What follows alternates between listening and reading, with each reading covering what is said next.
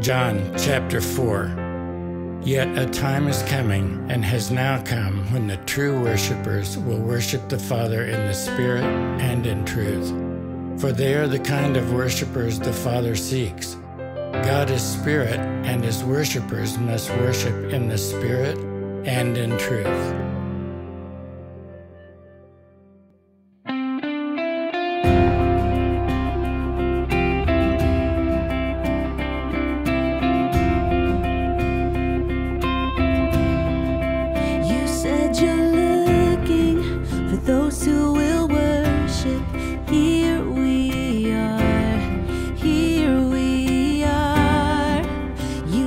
you're searching for those who will pray.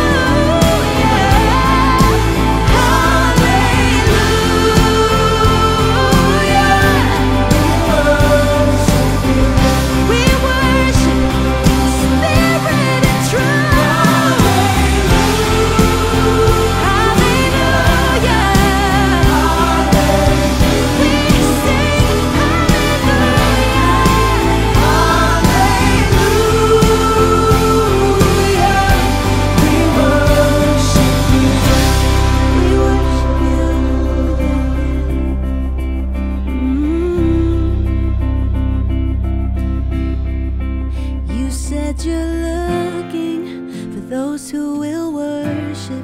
Here we are, here we are. You said you're searching for those who will praise you.